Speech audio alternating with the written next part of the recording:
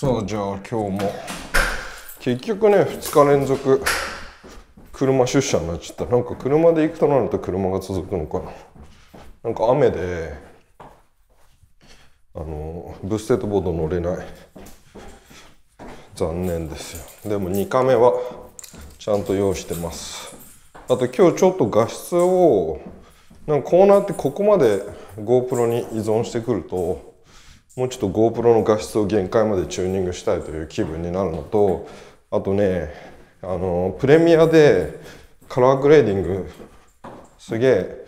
あの、まあ、一括 color grading だったらかなり楽に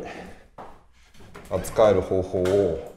見出したので見出したっていうとすげえなんか自分が発見したみたいであれですけどあの今のね最新のプレミアだと Creative Cloud のあのクラウド経由で自分がこう設定した grading の情報を sync できるからそうするとねあのどこで編集しててもそのデータに簡単にアクセスできるし、えーと、どのエピソードにも同じデータ簡単に持ってこれるから。今まで本当に些細なコピペなんだけど、まあ、やっぱそういう細かい設定がすげえ面倒くさくて。カラーグレーディングちょっと億劫がってたんだけどこれだったら結構いけるんじゃんっていうワークフロー見えてきたんであの積極的にねあの空グレして画質を引き出したいという気分になってきた今日この頃です。ということでちょっと一旦一旦、えー、ライダー M 外してよいしょ。なむな。えー、とこんな感じでよいしょ乗り込むぞ昨日の昨日のあの車載との車載との2カメ。車載車載じゃないよね。自撮りとの2カメはどうだったんだろう。ありだったのかな。こんな感じで昨日は。よいしょ。こんな感じでまた2カメ設定してますがこれをもう一回チェックしてみようか。こいつはなんかね番号がが分かる分かる。こんな感じ？どうこの2カメ？2カメ設定。いける？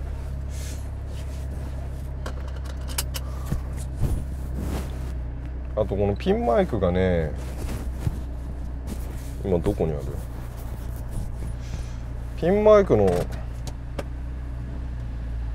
し昨日もう一個あれ？ハンドは昨日もう一個気づいた点はあのー、タスカムのピンマイクね。あの下手な風防モフモフスポンジのやつ。あれつけると結構音が劣化してましたね。なんか今回昨日のやつはそれ外して撮ってたんだけど全然音がクリアになったけどその代わりちょっと原因が上がりすぎててなんかもしかしたらあの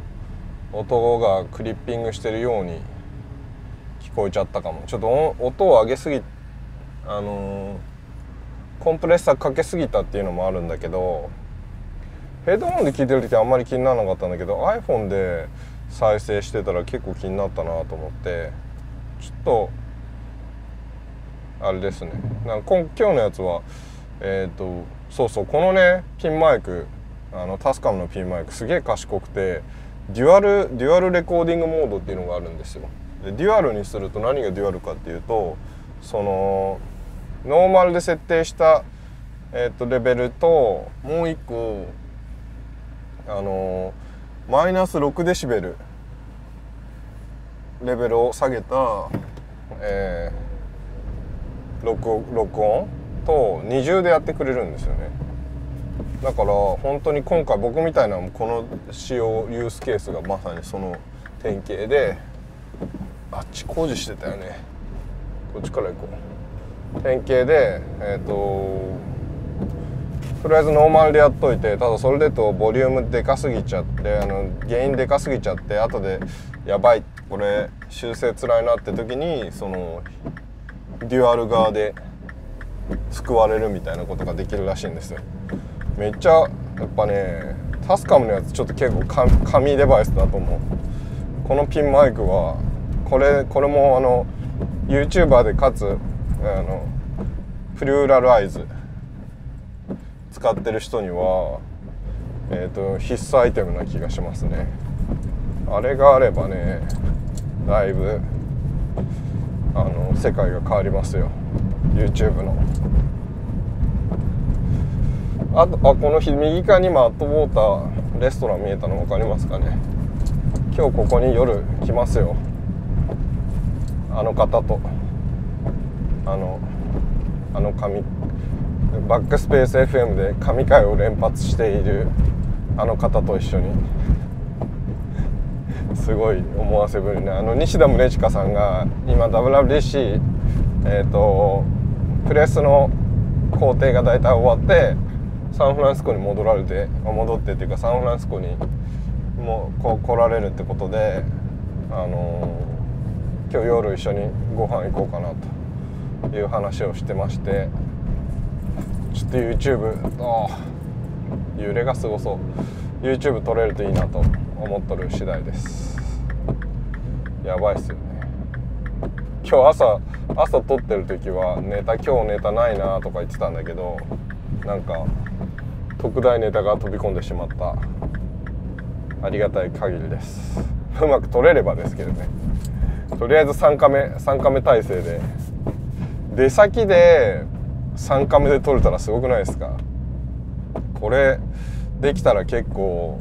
もう我ながら感慨深いんだけどなんかワンマンオペレーションで3カメでしかも野外高品質インタビューとか撮れるようになったら相当ですよねなんか我ながらスキルアップしたんじゃないかっていう実感ができそうなレベルなんでまあうまくいくか分かんないけどちょっとトライしてみたいな。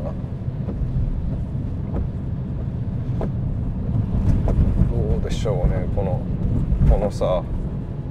やっぱりみんなライダー M を買った方がいい買った方がいいっていうアドバイスを頂いてますがやっぱライダー M 必要だよね。まあカルマグリップ買うか買わないか別にしてもライダー M はとりあえず押さえとけってことかな。あって損はない気がする。あれを1台。まあちょっとオフィス行ったらポチるか。あやっぱりなんかあの GoPro をねかなり画質を今回変えてプロチューンのフラットっていうやつで撮ってんですよ。だいぶコントラストが下がるからあれですね暗いところから明るいところから今今このこの iPhone でプレビューしながら見てるんだけど色味がだいぶ違うな。これで調整すればあれかな。本体だけでは出しきれない映像に、まあ、結構 GoPro 本当にねなんか元の素性がいいのかあれなんですよね。後で。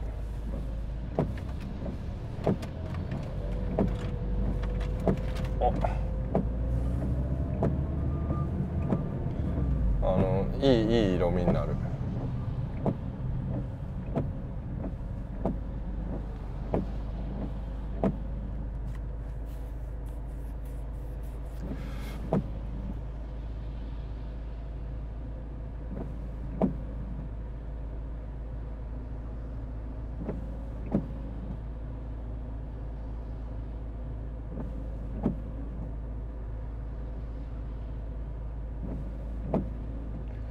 うん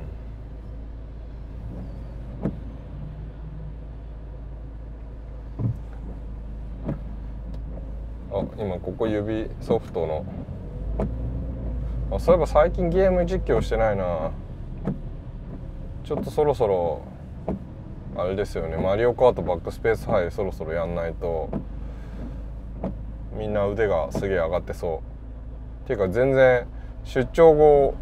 任天堂スイッチを設定してない。うわ怖え。この見てこのトラック。でかでかすぎでしょ。どんだけいい感じにこの2カメのおかげで映った気がする。ちょっとチェック。チェックチェック。これ。だってもうなんかミニの何倍？5台分ぐらいあるんだけど。しかも若干こっちにこう迫ってきてる感じですげえ怖いんだけど。さあ西田さんに今日何聞こうかな。WRDC もお怖え。なんかもうお尻がさこう制御しきれてないからちょっとこっちの車線がはみ出し気味で。怖いんですけど。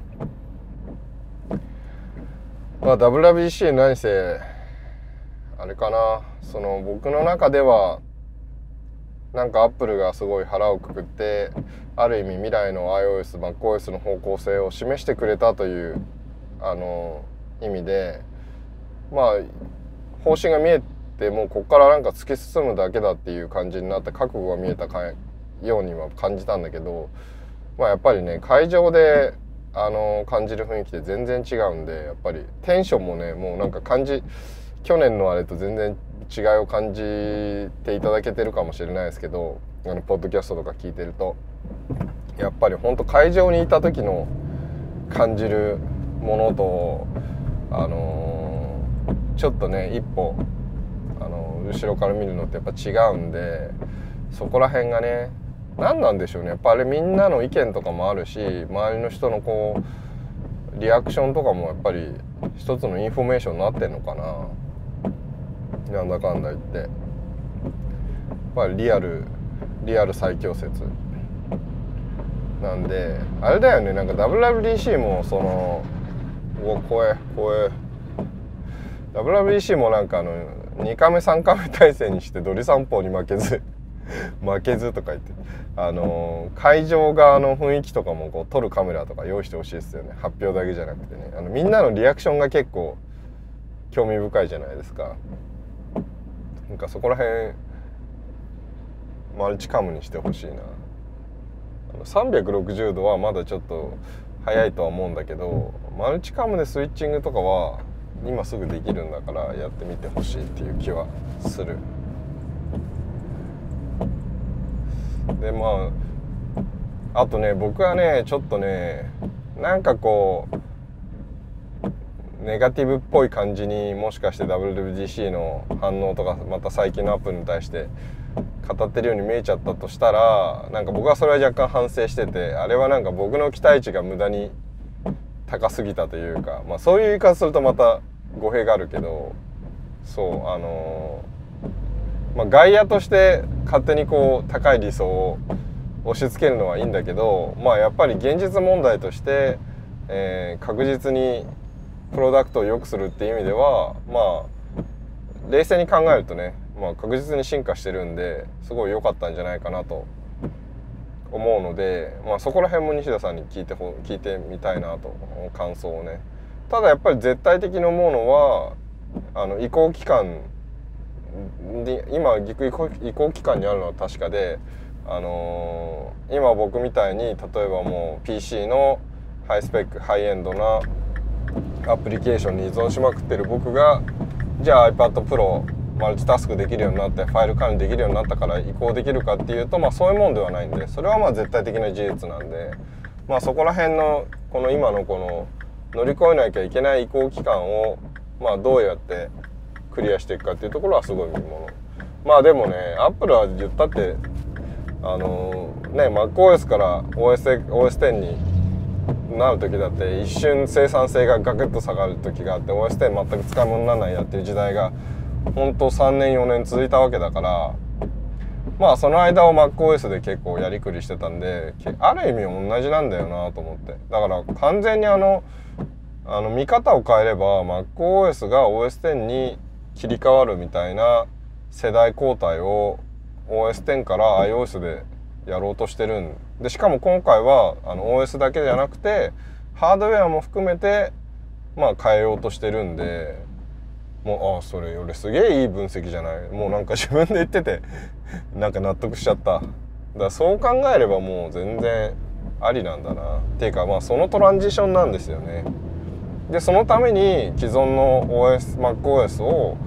あのメンテし続けるのはもう本当に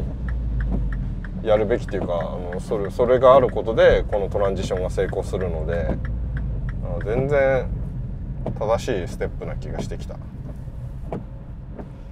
ちょっと楽しみになってきましたね。ということでとりあえず会社着いたんでまた後編に続きます。後編っていうか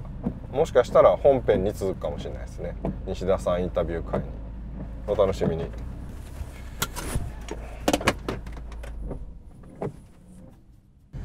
えー、ということで あれこれ撮れてんのかな？撮れてんのかなって。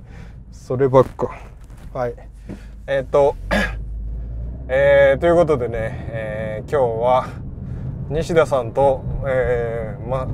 僕は初めてお会いした鈴木純也さんには初めてお会いしたんですけどあの IT メディアでいつもあの PC 系の記事とか拝見させていただいてる鈴木純也さんと3人で、えー、ご飯させていただいてえっ、ー、と結構長いねインタビュー、えー、と撮らせていただいちゃいました。えー、これはドリ散歩で使う予定ですが、えーと、メインチャンネルの方で多分うまくいけば撮れたやつが、まあ、40分超えの WWDC トークできたと思うんでちょっと是非それも楽しみにしてもらいたいんですけどただねお店がめっちゃうるさくてちょっと今回ね僕のあの向上したえー、何？外撮りインタビュースキルが求められる結果になりそうだな。どのくらいどのくらいこうあのー、外撮り能力が僕にとって上がったのかが すげえ気になるっていう感じではあるんですけど。うまくいってるといいんですけどね。まあ多分あれですよ。あの絶対広告は入れられないパターン。あの曲が曲がうるさいからダメですって怒られちゃう。パターンにはなってると思うんですけどまあね、えー、インタビュー自体がうまく撮れてればいいな。結構ね WBC のやっぱり西田さん直接ね会場に WBC 行って、えー、お話なりアップルのブリーフィングを聞いてきての話なんでものすごい説得力が高いんで。貴重な話いっぱい聞けたんでね。あの話本当すごいね。あの説得力がやっぱりね会場に直接行って話すとこう説得力違いますよね。やっぱりね行けないのはちょっと悔しいなとちょっとだけ寂しい思いを感じましたよ。そうでねでも実はその収録後に結構サーフェイスラップトップの話になってサーフェイスラップトップがいいんじゃないか。あの Windows 10S がねあのねあれは目から鱗が落ちる話だったな。鈴木純也さんに言われてはっと思ったんだけどあのサーあのサーフェイスラップトップって Windows 10S っていうあのユニバーサル Windows プラットフォームのアプリしかしば動かないという縛りをまあ縛りを載せた Windows がまあ動くんですね。もちろんなんかアップグレードして Windows 10にすることはできるんだけど Windows 10 Pro とかにすることはできるんだけど、えー、とデフォルトの推奨環境はユニバーサル Windows プラットフォームアプリ縛りで出すんだけどなんかねあれってどんだけ意味あるんですかねみたいな話ででなんかサスペンドレジュームあのスマあのスリープして解除した時の速さがこの間僕もメインチャンネルであのマイクロソフトストアで Windows サーフェイスラップトップ触ってきた時になんかこれイカサマしてんじゃないの？って本当はスリープしてないのに画面だけ消してんじゃないの？っていうぐらい、えー、とスリープとその復帰が早いっていう話をやっぱり今日もしてたんですあれ本当ですかね？みたいな。った時にあの鈴木さんに言われてハッと思ったのはそのユニバーサル Windows プラットフォームに縛ってあの動いてるってことはあれほぼスマホなんですよね。あのスマホアプリしか動かないみたいな状態になってるんでその電源こ切った時の何ていうのパフォーマンスっていうかあの動きは本当にあのスマートフォンのだから iPhone の電源を押してこう画面消えてスリープ状態になるのとまあ仕組み的には同じようなことが動いてるからだからまあスマホみたいな感じで、えー、スリープから復帰スタンバイからしてスタンバイから復帰するっていうのができるんじゃないですかねみたいな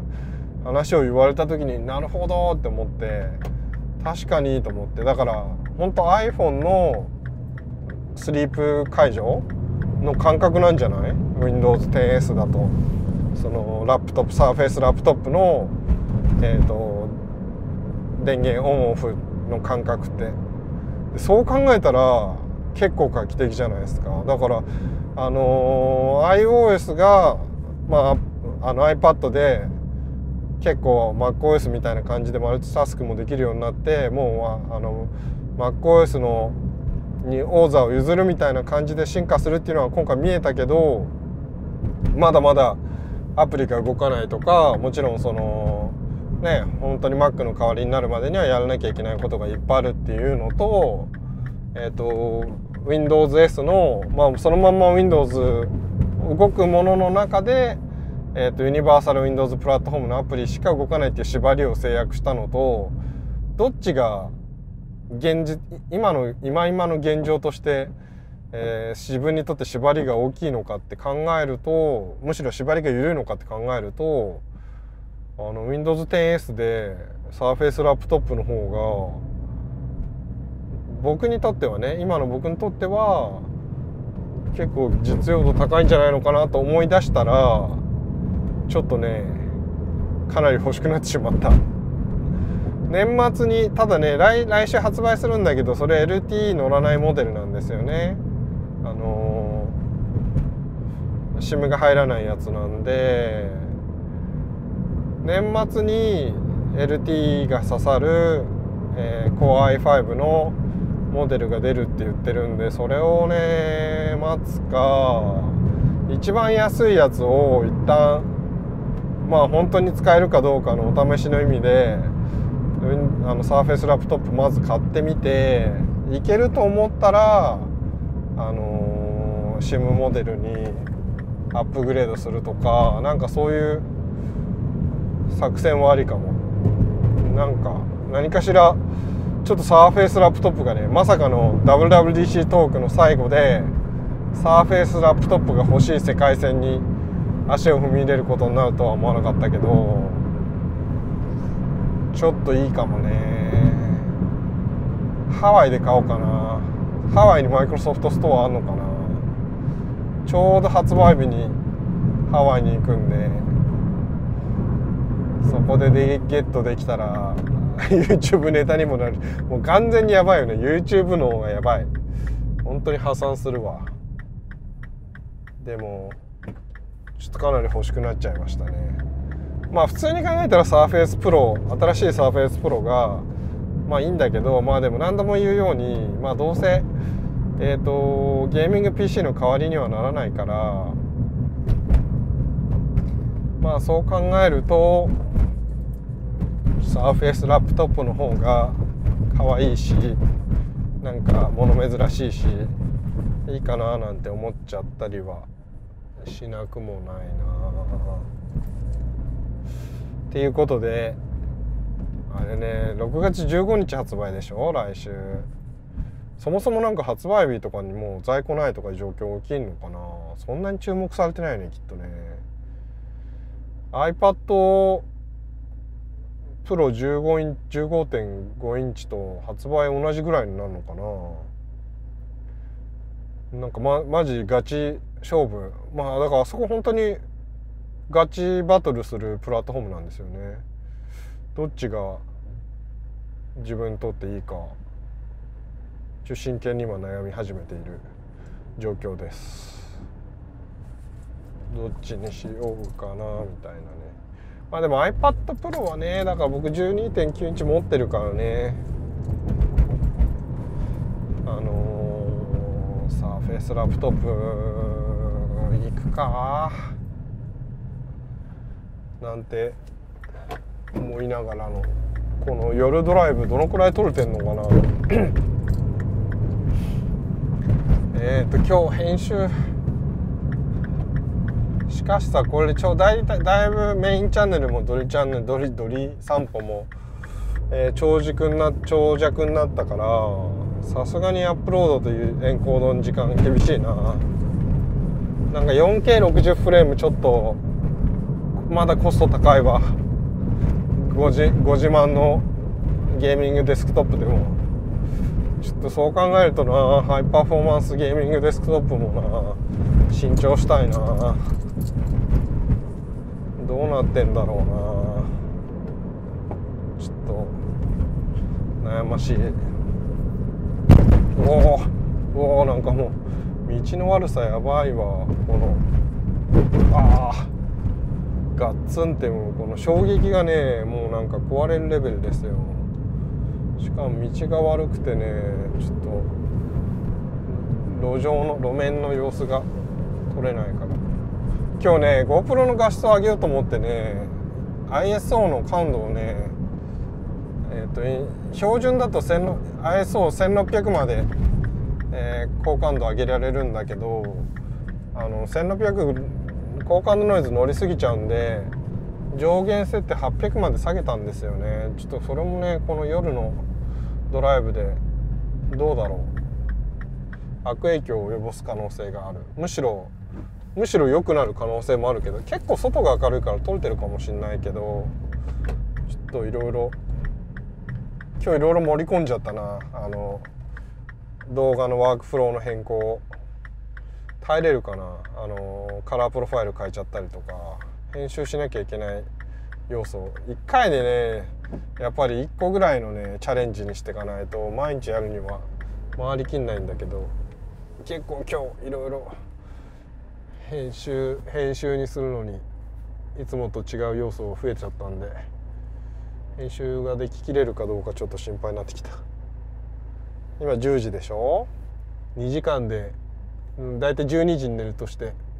10時に12時に寝れた試しはないんだけど一応目標はね12時に1日の編集を 12時にまでに上げようと、えー、日をまたぐ前に上げようと思ってるんだけど2時間厳しいかなさすがに。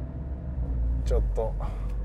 チャレンジしてみようと思います。ただまあ西田さんトークのところはカットする必要はないからね。もう全編使いますよ。あの普通に。そう考えるとまあ編集の手間はいつもよりちょっと低いかもしんないですけどね。ということで、えー、家に着いたんでこれでドリ散歩もなんとか取れ高を確保したかなと。いう感じで今日も一日お付き合いありがとうございました。あキーワード。キーワードを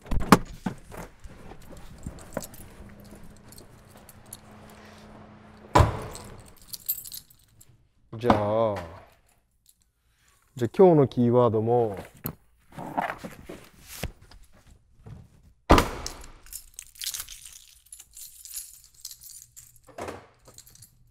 じゃあちょっと今日のキーワードも変動変動パターンで、